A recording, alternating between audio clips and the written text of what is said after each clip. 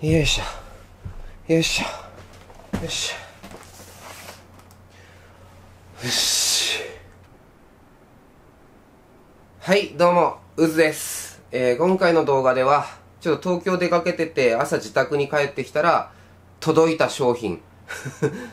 さっき届いたばっかしの品です。えちょっとこれを開けてちょっとどんなものなのかっていう感想というか反応やりたいと思います。まあちょっと動画のタイトルでも中身は分かってると思うんですけれども、ちょっと私自身がこれを開けるのがリアルタイムなので、えちょっとお付き合いください。これ別にナイフいらないね。普通にテープ開けやすいようにテープなってる。はい。で、今回もしっかりと、え梱包の方されてまして、これちょっと丁重にね、扱いましょう。扱いがいつも雑って言われちゃうからね。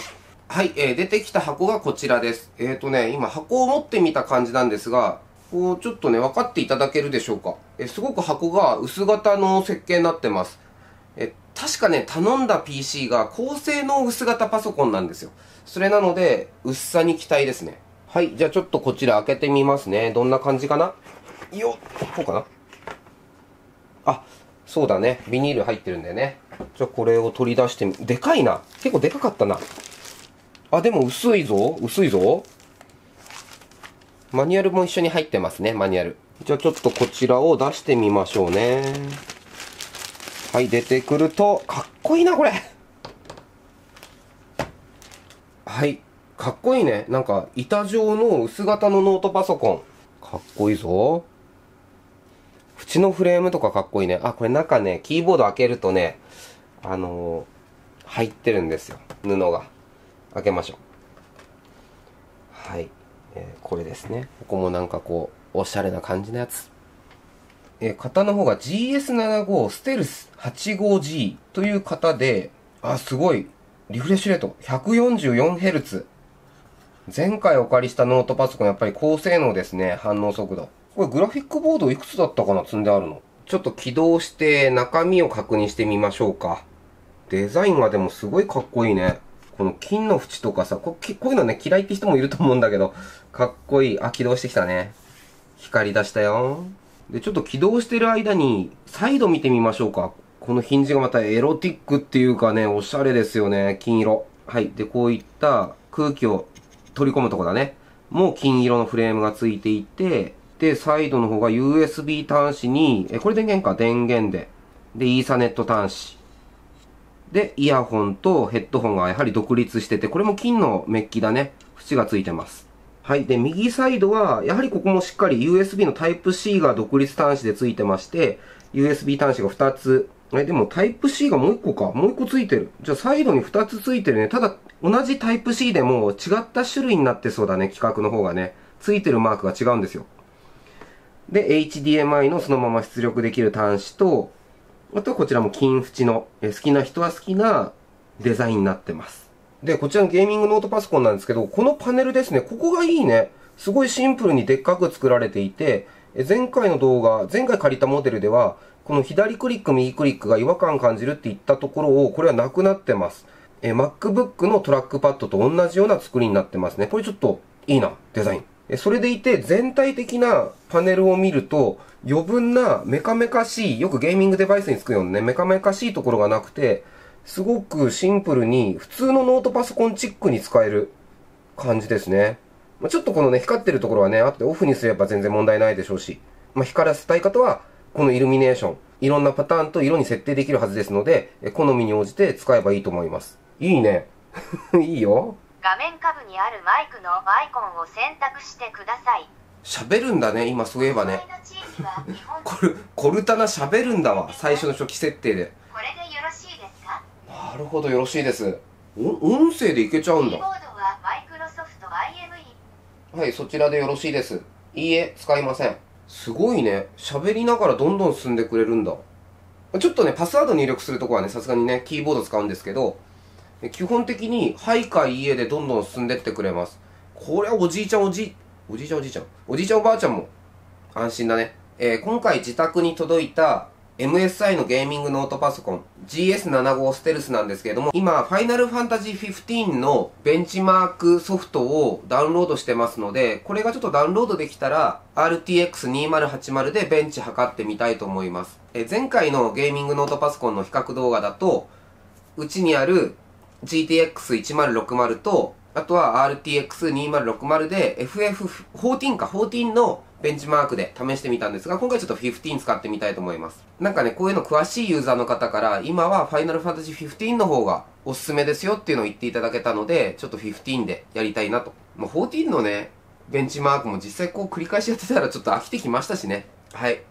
ダウンロードはちょっと終わるまでかかるので、お昼食べてこようかな。お昼。どうしよう。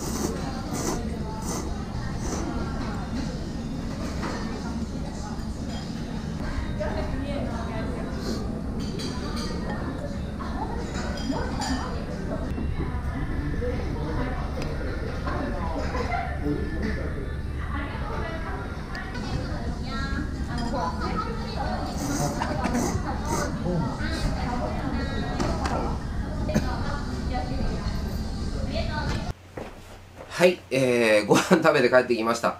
久しぶりにちょっと丸源ラーメンさんで食べてまいりました。はい、えー、ベンチマークですね。ベンチマークの方今かかってまして、いいね、なんかね、FF15 のね、ベンチマークソフト。うん。グラフィック綺麗。で、ちゃんと AC アダプター接続しての計測やってますので、まあ、基本的にこれで問題ないかな。はい、じゃあ計測終わるのちょっと待ってみます。はい、今こちらですね。こちらのパソコン。えゲーミングノートパソコンの計測が終わりまして、えこちらが、スコアが7736快適という状態で終わっております。えーどうなんだろう ?FF15 のベンチマークってこの数値はいいのかな？ちょっとよくわからないんですけど。な、なので、なので、え今、こちら側ですね、えー GTX1060 での計測をちょっと始めてみました。数値の上がり方的に見ていると、FF14 の時のベンチマークより、スコアは伸びない感じですね、きっとケツ。で、どちらも、えーフルスクリーンで、フルハイビジョン。で、高品質設定で計測しております。はい、えー、デスクトップのが終わりまして、やっぱ、やっぱ数字低めになるんだね。えっ、と、GTX1060 我が家のやつでやると、4998、えースコアの方はなりました。やや快適。えーということなので、こちらのゲーミングノートパソコン、えースペックかなり高いというのは、実際わかります。えただ見ていると、なんかね、この、公式のサイトかな？で見ますと、本来、RTX2080 ってスコアの方が9914いくみたいなので、高品質ハイビジョン設定で、フルハイ設定でいくようなので、え、ちょっとなんかがね、なんかがつまずいて多分、スコアが伸びきってない感じですね。はい。ということらしいです。え、これが FF15 の公式のベンチマークの数値になってますね。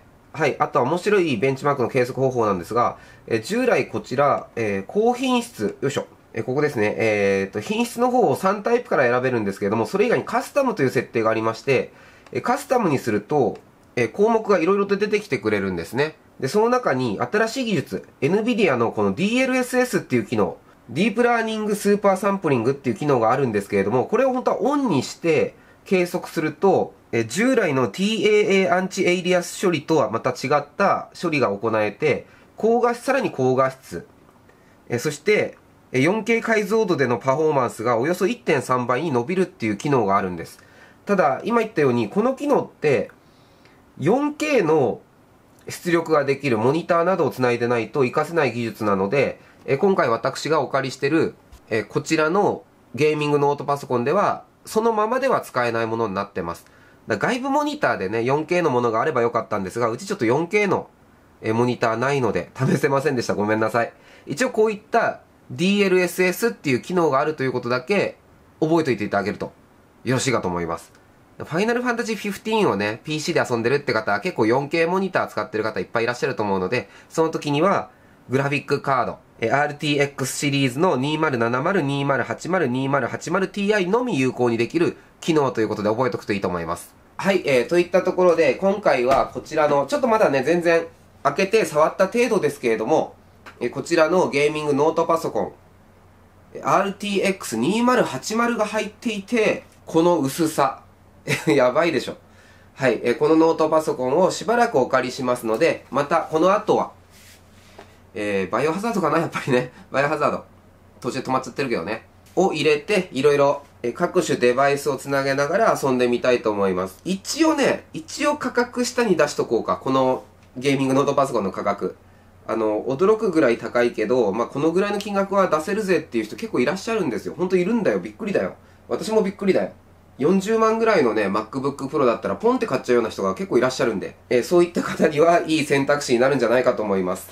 もうね、この、この薄さ、このサイズ感だよ。だってこれでさ、こう持ってさ、こう持って移動してさ、で、ポンって、ポンってどっか座ってさ、それでもってカチャカチャカチャカチャさ、動画編集とか、ゲームとか、やっちゃったら、超スタイリッシュじゃない？すげえこれ、移動しやすいよ。マジで、マジでこれいい。前回のゲーミングノートパソコンも良かったけど、このね、フラットな感じの薄さはね、やばいよ、これ。これめちゃくちゃ欲しいわ。めっちゃ指紋つく。はい、えー、まだまだちょっとキーボードのね、打ちやすさとか、トラックパッドの使いやすさとか、めちゃくちゃね、ちょっと触っただけでも気づくとこいっぱいあったんですけど、えー、そのあたりはこの後まとめてまた動画の方で、まあ、しっかりと話そうと思いますので、えー、お楽しみにしといてください。だいたい1週、1週間使ってみようかな。1週間ぐらい使ってみて、実際この高性能高級パソコンがどんな感じだったかというのを話したいと思います。えー、後日上げる動画もまた見ていただけたら嬉しいです。えー、いつもは、えー、カメラの動画が最近多いかな。カメラ関係の動画を中心に、えいろんなガジェット、パソコンだったり、通信ツールだったり、えいろいろやってますので、えこの動画で初めて私の動画を見たという方はぜひ他の動画を見ていただいて気に入ったらチャンネル登録をお願いいたします。ではまた別の動画でバイバイ。えー、このゲーミングノートパソコンを撮ってる間に、えー、また郵便物が届きましても、本当ね、郵便物いっぱい来てくれてありがとう。次はこちらのカメラの、めちゃくちゃいいフィルターなんですけど、これちょっと使ってみてのレビューもやりますので、え、カメラ関係の動画もお楽しみにしておいてください。カニフィルター。調べたらすぐ出てくるけどね、実際に使った上でのお話もしてみたいと思います。